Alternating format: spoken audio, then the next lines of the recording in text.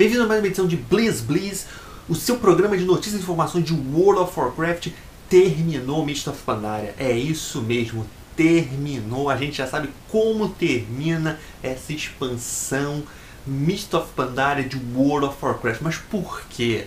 Porque as guildas já mataram o Garrosh no patch 5.4 na raid Cerco Grimar e a gente já ficou sabendo como termina, quem é o novo chefe guerreiro da Horda, como é que vai ficar a relação entre a Aliança e a Horda e todas as pontas da história de Pandaria se fecharam e agora a gente já se prepara para a próxima expansão. Mas calma, quais foram, como terminou a história, o que aconteceu, quem é o novo chefe guerreiro, as outras coisas que aconteceram nessa história durante o patch 5.4 que muitos jogadores não sabem.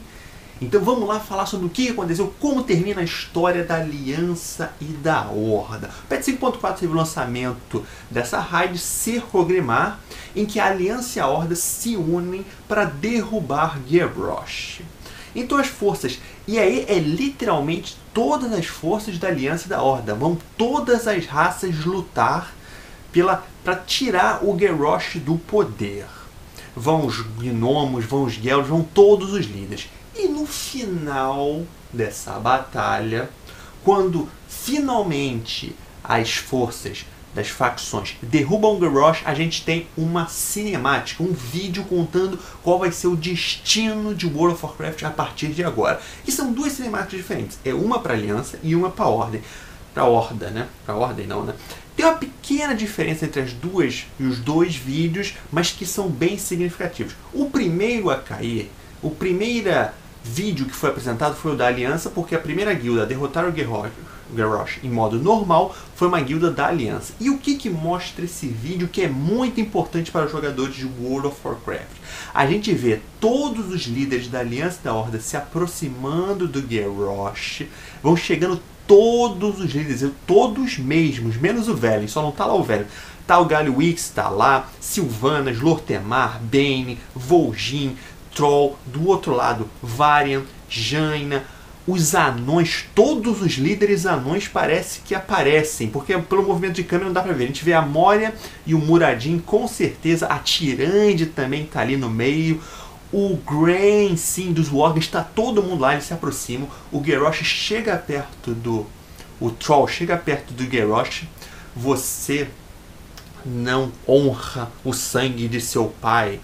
Ele levanta o Doomhammer, que é o martelo dele, e quando ele vai dar o golpe final no Garrosh, aparece uma espada. É o Varian que não deixa.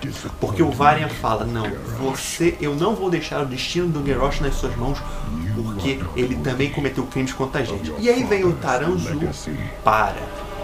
Garrosh cometeu crime contra todo mundo, mas ninguém sofreu mais do que nós pandaréns, então deixa que ele vem com a gente. Isso mesmo, o Garrosh não morre, ele é levado pelos pandaréns, ele é preso pelos pandaréns e tem até uma sequência disso depois, tá? Mas a, o vídeo continua. E aí pelo lado da aliança a gente vê a Jaina falando com o Vario, olha, ela olhando para os líderes da ordem, olha, nesse momento eles estão tramando contra a gente, vamos terminar essa guerra nesse momento. Varian fazendo aquela cara Hum, eu vou fazer isso. Chama os soldados que estão com ele, vai se aproximando da horda e fala: Eu quero quem fala pela horda. Então os soldados da horda estão todos assim na frente, e aí quando eles abrem, quem aparece? Quem aparece? Vol'jin. Vol'jin, um novo Chief, um novo chefe guerreiro da horda. Eu falo pela horda. O Varian fica, olha pro Troll assim, olha pro Vol'jin. Beleza, vou falar com esse cara aí mesmo, né? Se ele se aproxima, a horda derramou muito sangue. Ele vem com a espada, se ele finca a espada do chão, mas alguns de vocês lutaram para que esse sangue terminasse. Então, por isso, eu vou acabar com essa guerra agora. Ele vira, dá as costas para a horda, pega a espada e vai falando: Mas se vocês fizerem alguma coisa desonrosa, eu acabo com vocês. E isso dá um tom muito primordial para os jogadores da Aliança, porque quando termina a história de Mist of Pandaria, a Aliança está no alto. A Aliança está mais unida do que nunca. A Aliança agora tem um líder, o Varian.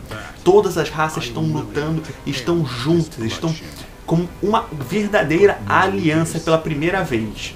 E os jogadores podem ficar assim, pô, mas o Varian podia ter terminado com a guerra. Ele terminou. Só que ele decidiu, em vez de continuar a luta, ele poderia até ganhar a guerra, mas ia derramar mais sangue de seus soldados, não. Vamos acabar com isso por aqui.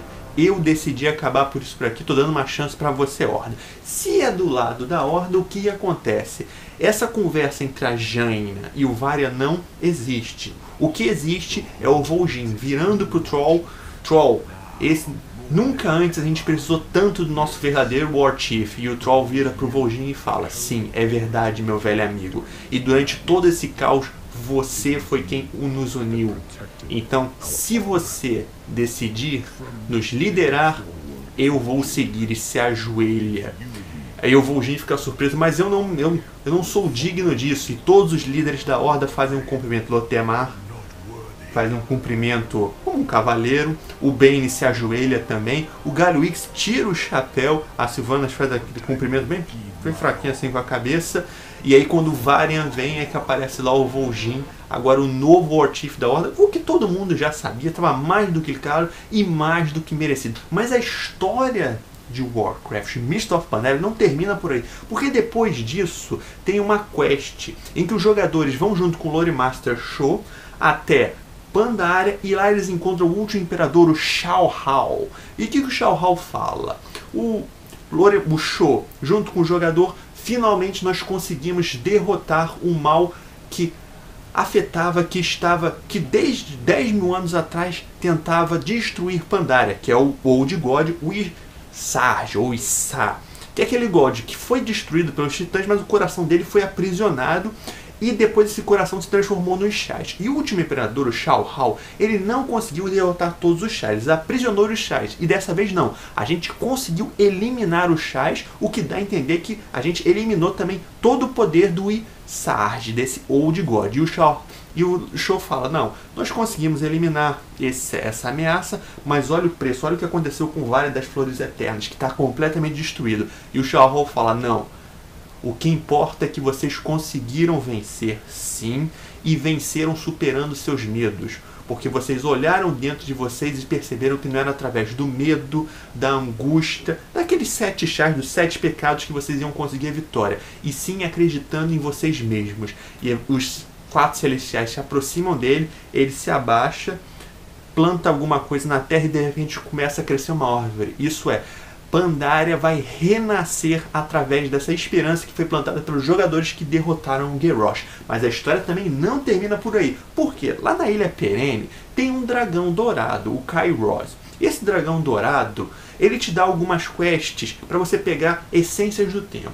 Quando você vai coletando essas essências do tempo, ele vai te contando a história que aconteceu durante a raid Ser Cogrimar, mas que os jogadores não participaram. E o que, que são essas esses eventos são vídeos que vão sendo apresentados aos poucos à medida que a quest vai evoluindo e ele vai contando a história. Então o primeiro vídeo que a gente vê é o Garrosh e o Sorfeng chegando num portão lateral de Ogrimmar. Então o soldado lá não deixa ele entrar, vem o General Nice Green e fala: hum, soldados, vai olhar o outro portão e ele deixa o Troll e o Sorfeng entrar. Isso aconteceu antes da raid, a gente está vendo momentos do passado.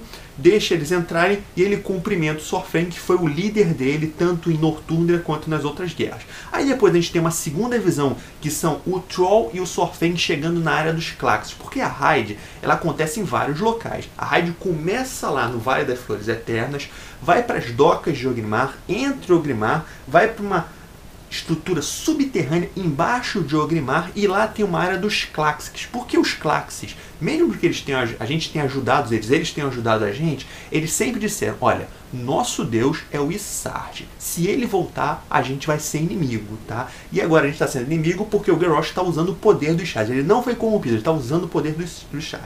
E aparece o, Varro, o Sorfeng e o Troll, eles se olham e começam a carga e termina. Aí depois tem uma outra visão muito boa, porque essa visão gerou muita polêmica quando apareceu, que é um orc dentro de uma prisão uma prisão que parece com aquelas energias do chá, dois painéis na porta e vem um anduin. o filho do Varia. O Anduin fala alguma coisa com esses dois guardas Pandaren, a gente não consegue escutar o que está acontecendo. Ele entra e vai falar com esse orc e termina a visão. Não tem som. E o pessoal falou quem seria, quem seria é o Garrosh, que não morreu, está sendo aprisionado pelos Pandarens. E tem a última visão Podem ter mais visões que ainda não foram descobertas, mas essa quarta visão que mostra os líderes da Ordem chegando e a câmera vai se afastando e aparece o Kairos. Por quê? Porque o Kairos diz que com a perda do poder dos aspectos dos grandes dragões, eles não têm tanta. Eles não conseguem ver tanto assim o futuro nem o passado do que, que vai acontecer, mas eles sabem que tem um traidor dentro dos dragões de bronze. Quem é esse traidor a gente não sabe. Mas também tem mais sobre a história de Mist of Pandaria, que é a conclusão da história do Rathion, do filho do Neutarion, do filho do dragão Neo, aquele que dá as quests para você pegar os itens lendários. Finalmente a gente sabe toda a história, tudo que aconteceu desde o início, desde que ele começou a dar quest para os jogadores. Na verdade, ele estava manipulando os jogadores, porque o que ele queria ele não é mal, não é mal no sentido literal da palavra. O que, que ele queria desde o início? Ele queria medir as forças da Aliança da Horda para ver quem era o mais forte. Então, nas primeiras quests, ele mandou tanto a Aliança da Horda fazer aquelas missões para ver quem era o mais forte. E chegou no momento que ele decidiu: não, o Garrosh é o mais forte, eu vou apoiar esse cara. Por quê? Porque ele sabe que a Legião Flamejante, a Legião Ardente está vindo, a Burning Legion. E na cabeça dele, somente com o fim da guerra entre as duas facções, tendo apenas uma facção, a Zeroth estaria preparada para enfrentar a Burnage. Então não é que ele quer destruir a Zeroth. O que ele queria é que na cabeça dele, somente com uma facção, a gente conseguiria lutar contra a Legião Ardente. E quando ele viu a guerra entre e ele decidiu que o Garrosh seria o verdadeiro líder. Então ele começou a apoiar o Garrosh. A partir do PET 5.2, ele começou a apoiar o Garrosh.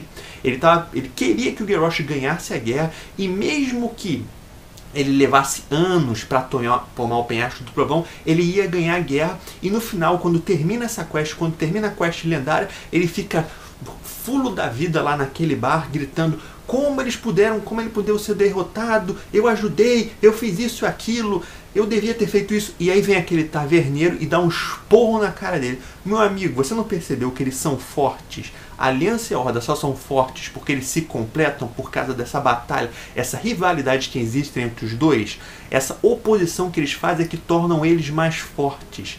Se eles se eliminarem, eles vão ficar mais fracos, eles vão pestanejar, eles vão ficar reluzentes, eles vão ficar preguiçosos.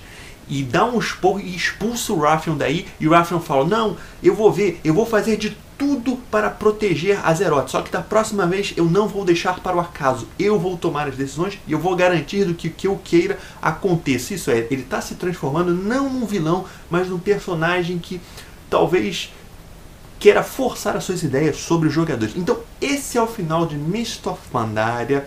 A gente já viu quem é Vol'jin, o novo chefe guerreiro da Horda, o novo líder da Horda. A Aliança agora ganhando essa batalha, ganhando nesse momento, ela está na frente da guerra, mas a guerra acabou porque ali não foi declarada palavra a palavra, mas foi declarada ali uma paz entre as duas facções para se reerguer, para seguir com a vida. E o que isso quer dizer em World of Warcraft? Isso vai ter que ficar próximo vídeo porque é muita coisa para se falar, mas agora a gente já viu a história de Mist of Pandaria o fechamento da história, o fechamento dos ciclos, o fechamento dos arcos, de tudo que aconteceu, a gente agora já tem uma ideia do que foi essa expansão, do que aconteceu com o final da raid Cerco Grimar. O que, que vocês acharam desses acontecimentos? Vocês gostaram? Vocês não gostaram? Deixa um comentário na sugestão aqui embaixo. Não esquece de seguir o Twitter do Codex, arroba mais não quer visitar o blog www.codex.com.br. Se você quer algum produto de World of Warcraft ou outros jogos, visita a lojinha do Codex. Se tem um produto que você queira e não tá na lojinha, é só mandar um e-mail pra gente, lordmonsivo.gmail.com e você acaba, você também ajuda a gente aqui a continuar a manter trazendo conteúdo para vocês sobre World of Warcraft e Blizzard. E não esquece de curtir a página do Facebook do Codex. Codex, obrigado por assistir.